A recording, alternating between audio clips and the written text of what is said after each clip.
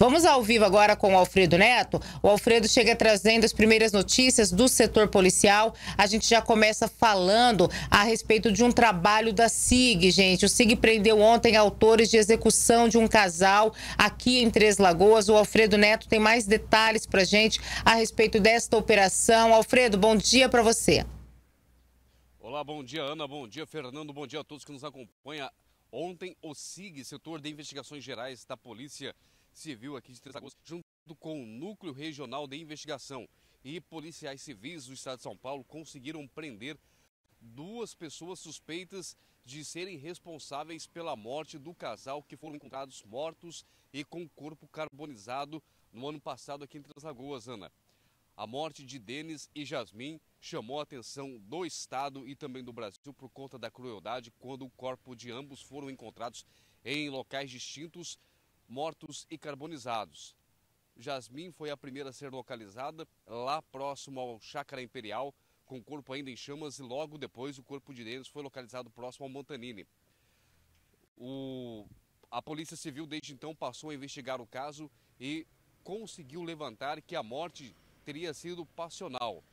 Denis, que teria sido jurado de morte e estava fora, fugido ali da cidade natal aonde ele teria nascido, que era Santos, a cidade paulista, litorânea, ele teria fugido daquele local após ter sido ameaçado de morte por conta de um caso passional que ele teve e estava jurado de morte. Foi para o Paraguai, aonde ficou um tempo, acabou conhecendo Lady Jasmine na fronteira, veio com ela para Três Lagoas após seis meses de namoro, aonde eles estariam aproximadamente 20 dias em Três Lagoas esperando a, barra ficar limpa lá no interior paulista para que eles fossem para lá. Mas, infelizmente, ambos foram localizados por criminosos que vieram até Três Lagoas e aqui mesmo deram fim na vida de Denis, aonde ele acabou sendo morto e posteriormente teve o corpo incendiado por esses criminosos e Lady Jasmine, como era uma peça ali que poderia ajudar a polícia elucidar o caso, foi morta por queima de arquivo por estar com Denis.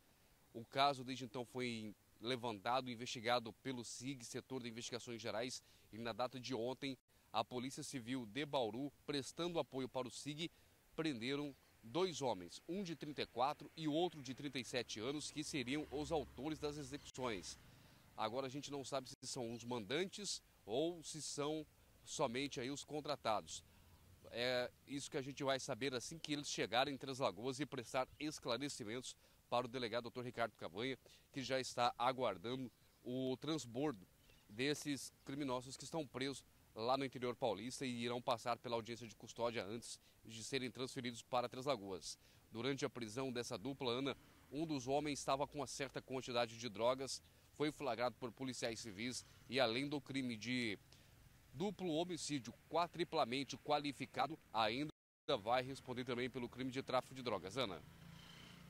Pois é, Alfredo. Então, mais um homicídio esclarecido, elucidado aqui em Três Lagoas. Nós falamos no início da semana a respeito dos homicídios registrados aqui na cidade, dos 17 homicídios é, registrados em todo o ano passado, seis estavam sem autoria. Agora a polícia conseguiu esclarecer mais um ontem. Restam então ainda cinco homicídios para serem esclarecidos aqui em Três Lagoas. E claro que a gente segue cobrando da resposta das nossas autoridades autoridades, principalmente da Polícia Civil, para a conclusão dessas investigações. O Alfredo, a gente fala agora de uma perseguição é, um, de um carro furtado. A Polícia Militar ela conseguiu recuperar um carro após é, uma perseguição no bairro Vila Alegre, aqui em Três Lagoas. Isso mesmo, Ana. Ontem a Polícia Militar, por meio da Força Tática, fazia rondas ali no bairro Vila Alegre, quando na, na rua Alba Cândida os policiais militares da Força Tática avistaram um veículo Uno com as características de um carro que estava com queixa de roubo na cidade de Andradina.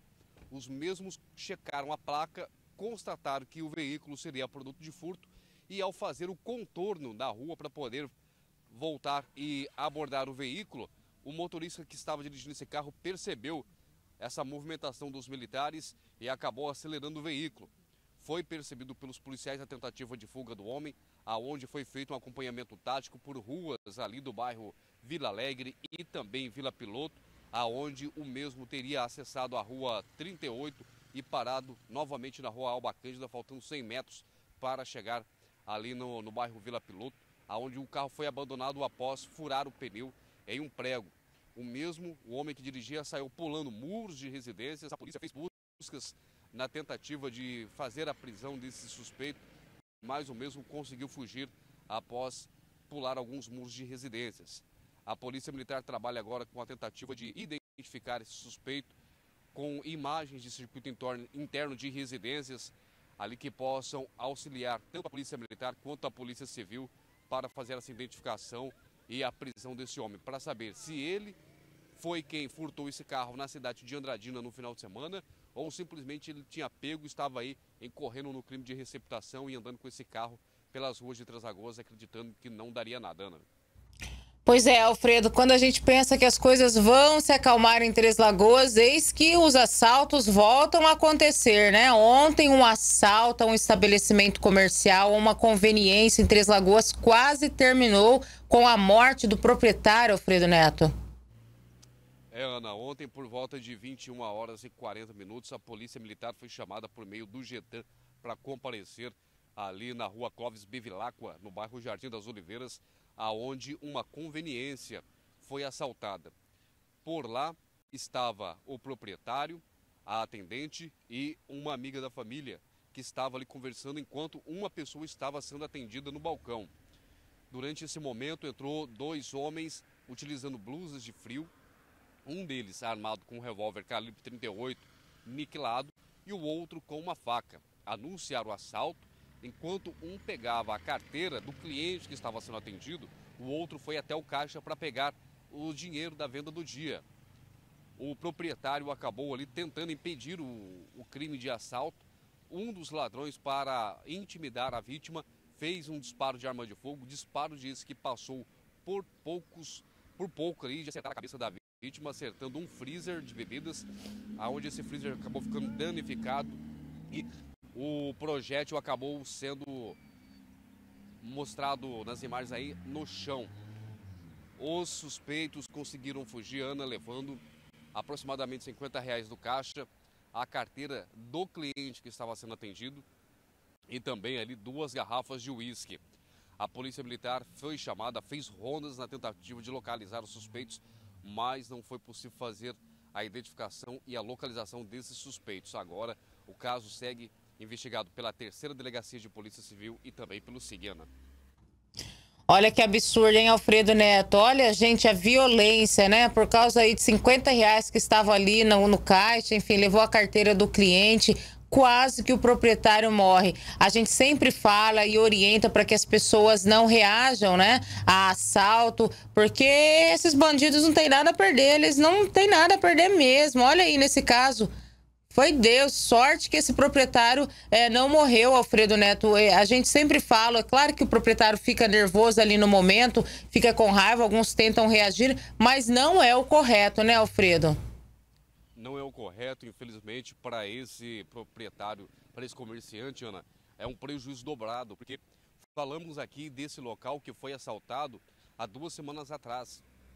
Há duas semanas atrás, uma, outro, uma outra pessoa chegou ali simulando estar armado, rendeu a, a recepcionista ali, atendente, acompanhou até o caixa e levou algum dinheiro ali que estava no ambiente. Na época não foi divulgado o valor que foi subtraído, mas em menos de 30 dias é a segunda vez que esse local é assaltado e tudo indica que seja alguém próximo, alguém que conheça a movimentação, alguém que está passando frequentemente, sabe qual é a rotina e e, é claro, sabe ali a movimentação e ver como aquele ambiente, a forma mais fácil e rápida de adquirir o dinheiro para comprar entorpecente, Ana.